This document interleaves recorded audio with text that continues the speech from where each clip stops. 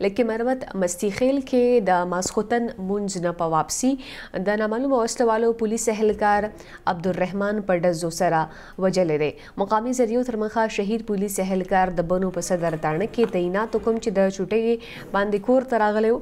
د شهید پولیس اهلکار عبدالرحمن جنازه په پولیس لاین لکي مروت کې سرکاري اعزاز سره ادا کړی شوې ده. د شهید په جنازه کې د پاک فوج لیفټیننټ کرنل احمد، ایس پي انویسټیګیشن مراد خان، پولیس افسرانو او ځوانانو په ګڼ شمیر کې ګډون کړی دی.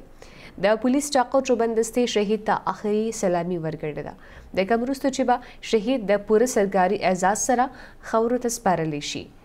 یاد دې وي چې دوه ورځې وړاندې هم نامعلومو وسله والو وقار نومې پولیس اهلکار د کور مخې ته شهید کړی و.